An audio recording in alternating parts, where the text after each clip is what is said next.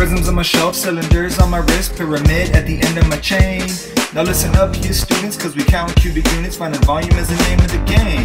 Does that big math textbook, got all you shook. Do all these formulas, got, got your brain cooked.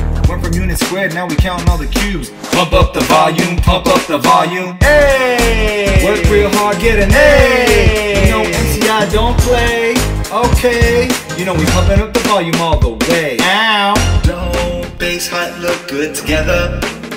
For prisms, V is BH all day long, all day long. Oh, for B, don't put whatever. Listen real closely, class, don't get this wrong. Cause with the triangle base, you watch the formula change.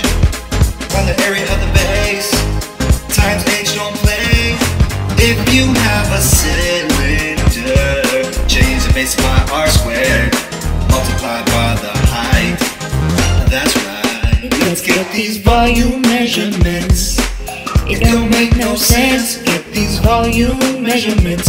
You know you can do this. Get these volume measurements.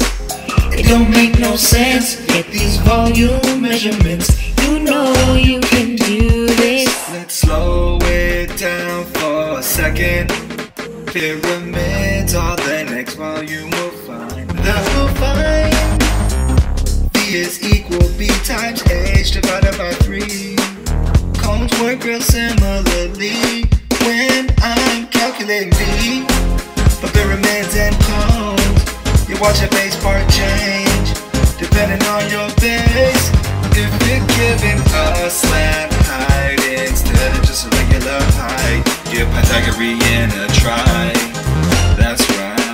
Let's get these volume measurements. It don't make no sense. Get these volume measurements.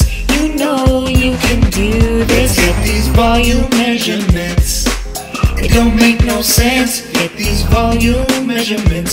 You know you can do this. Students, one more formula, you're doing fine. This formula is for spheres and it might change your life.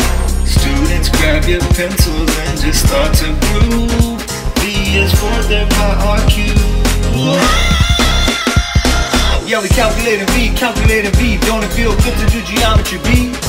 Yeah, we calculating V, calculating V. Don't it feel good to do geometry B? Yeah, we calculating V, calculating V. Don't it feel good to do geometry B? Yeah, we calculating V, calculating V. Don't it feel good to do geometry B? Ow.